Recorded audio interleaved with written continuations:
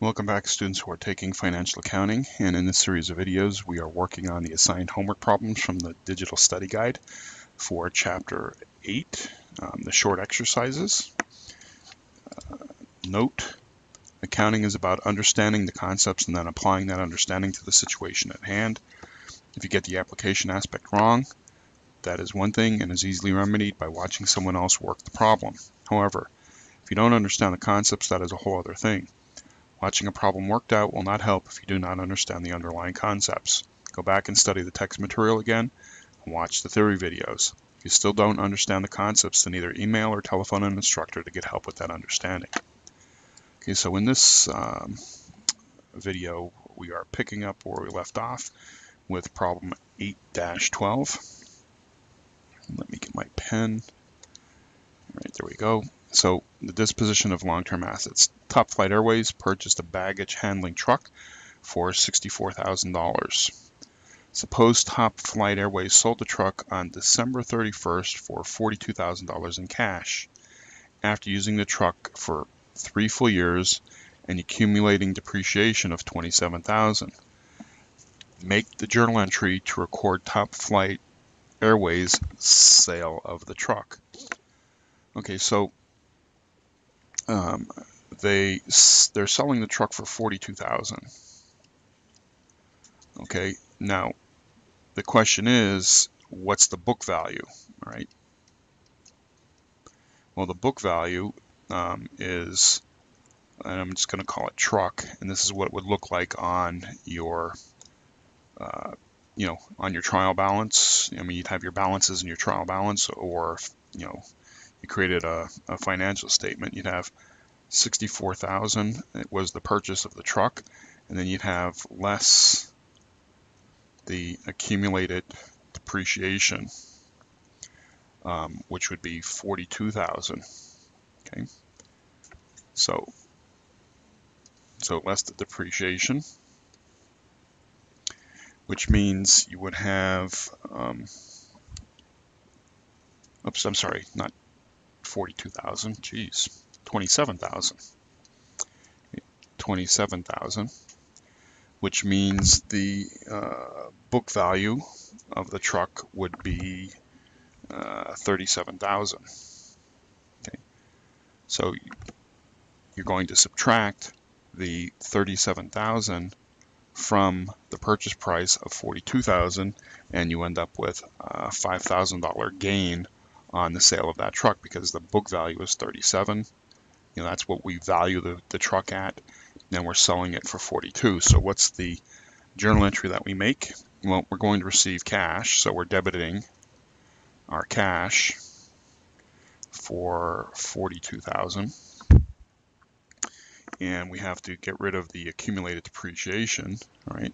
So we're going to debit accumulated depreciation truck whatever that uh, account is for the 27,000.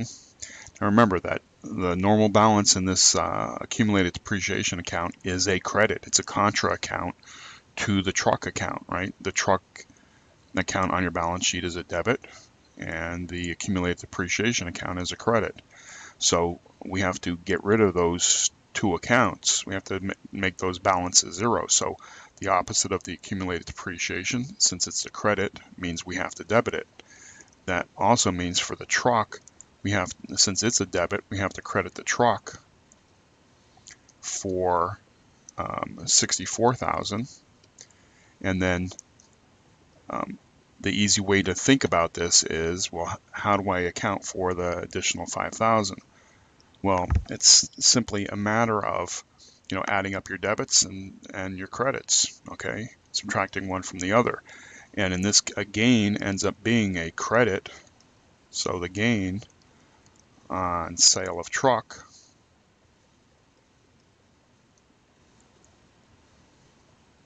will end up being $5,000 and that's um, the journal entry to uh, take the uh, this the selling of the asset off of uh, your accounts.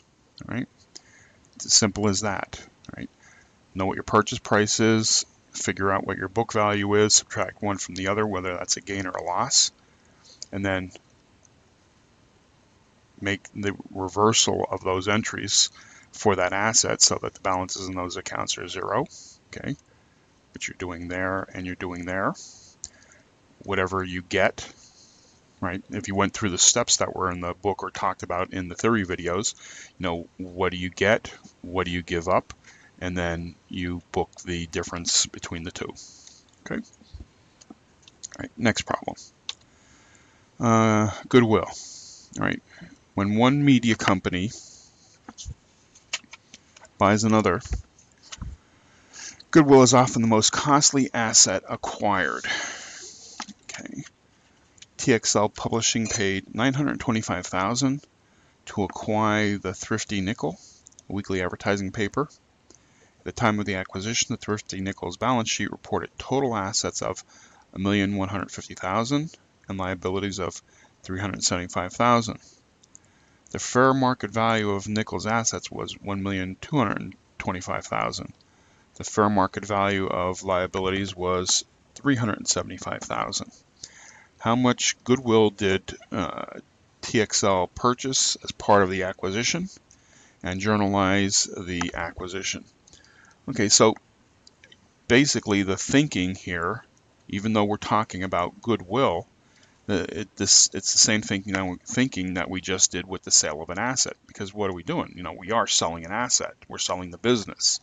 Okay, so if you have here where we're selling a truck, okay, if we're, we're selling the truck, you know, that's just one asset. And you're talking about recording the gain or loss.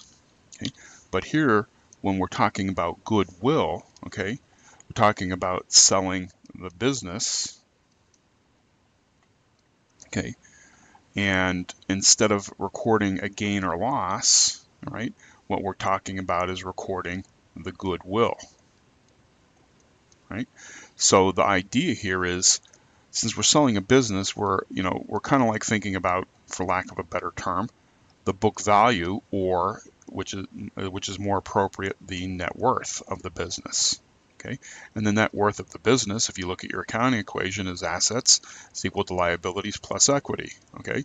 Well, if you take your ass, you know, if we want to know what our equity is, our net worth, you know, we have our assets minus our liabilities equal our equity, okay? I mean, this is something you learned, you know, back in math, and you also learned in the beginning of this uh, uh, textbook. So um, what we want to do is we need to calculate what our net worth is, and then um, we have the sales price, right? What we and if you go by the steps that were presented in the theory videos or in the text, you know, what do we get? You know, whatever we're, where our sales price is, you know, um, and then what do we give up? Our net worth.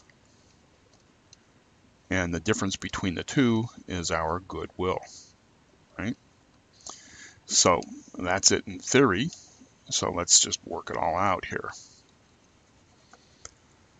Okay, so um, let's see here.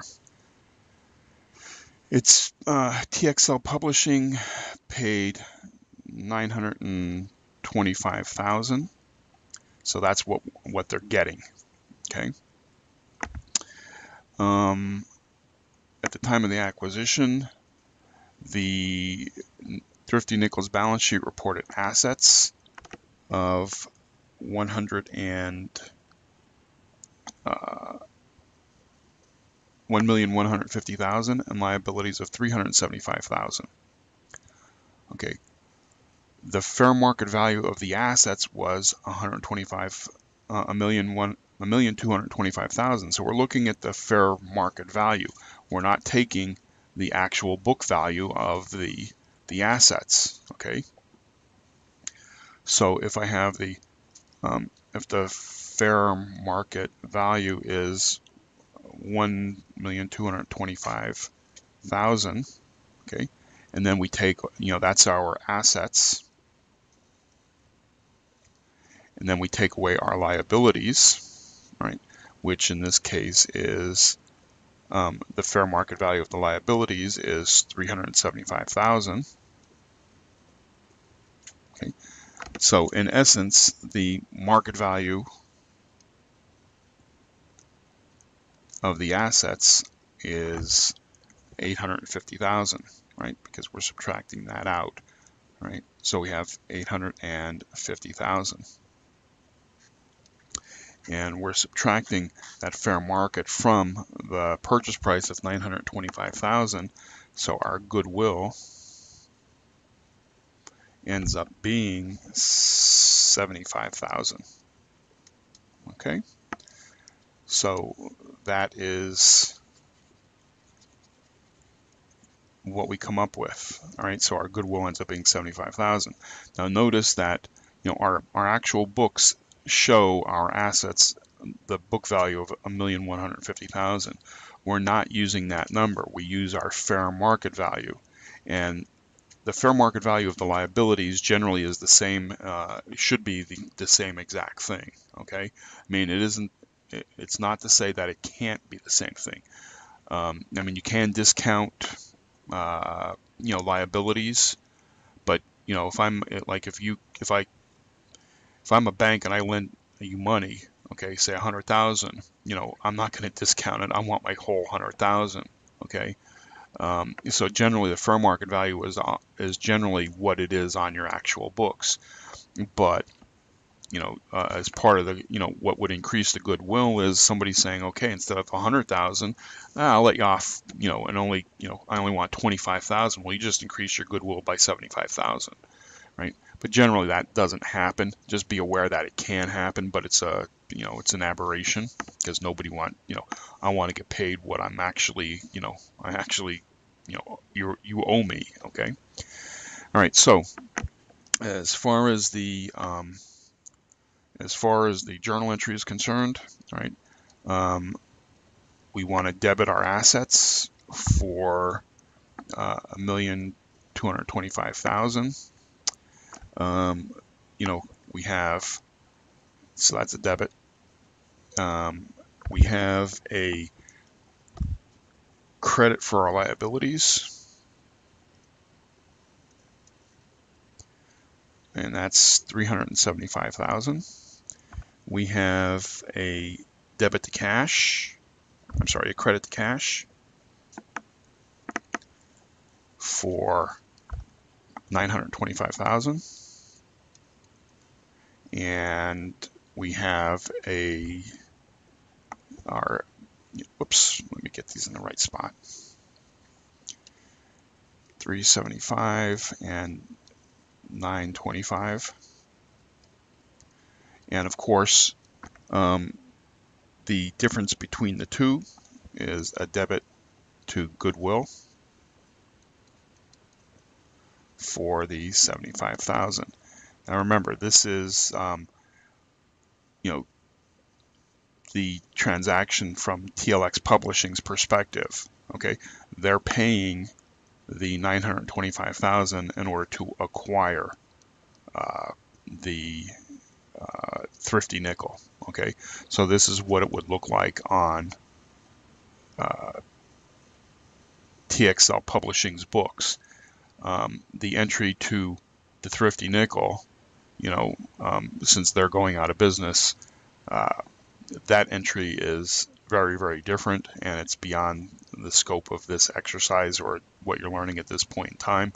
Um, and so basically, you know, think of it from the perspective of um, a small business. You know, they're going to go out of business. Why do they care about what their book's like? Okay, I mean, sure they they need to do taxes and stuff like this, um, and yeah, they can close out their books appropriately, but we don't have all the information that we need in order to be able to close the Thrifty Nickel's books just realize that they'd get an influx of 925,000 in cash, so they'd have a debit to their cash. But now all of a sudden, all of their assets would be, you know, uh, reduced to zero. All of the liabilities would be redu reduced to zero, and uh, the difference, you know, ends up in their equity. Okay, so um, that's it for this problem. If you, you know, it's very very similar to dispose doing goodwill is, this, is very similar to disposing of an asset itself, except instead of calling it a gain or loss, they call it goodwill. And we use goodwill when you're, uh, you know, you're buying a complete business. Okay, so That's it, and I'll see you in the next video. If you didn't understand something, you know, rewind, uh, pause, rewind the, the, video, watch it again. Go back and watch the theory videos um, about goodwill. And if you still don't understand something, feel free to contact an instructor.